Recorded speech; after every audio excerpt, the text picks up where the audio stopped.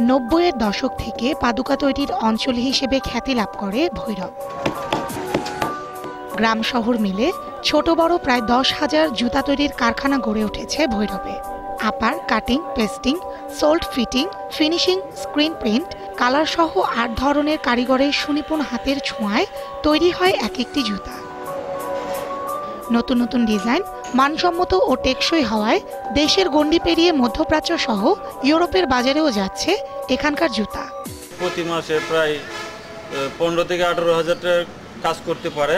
এই শিল্প শুধু বলবে না পুরো বাংলাদেশের অর্থনীতিতে একটা বিরাট ভূমিকা রাখতে পারব বলে আমরা মনে করি। আগে ঢাকা থেকে কাঁচামাল আনা হলেও এখন ভৈরবেই পাওয়া যাচ্ছে সবকিছু। এই শিল্প ঘিরে রং সুতা কেমিক্যাল সহ নানা উপকরণের বাজারও সৃষ্টি হয়েছে। আমাদের জুতা শিল্পে যারা সবারই অনেক আসতেছে। গৌরব তৈরি হয়। মালিকদের অভিযোগ সম্ভাবনাময় এই শিল্পে নেই কোনো পৃষ্ঠপোষকতা।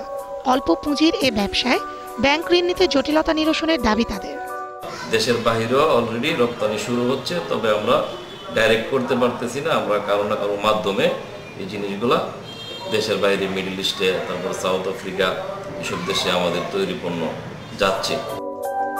নীরবে বেড়ে ওঠা এই শিল্প ভৈরব তো বটেই, গোটা দেশের জন্যই অপার সম্ভাবনা।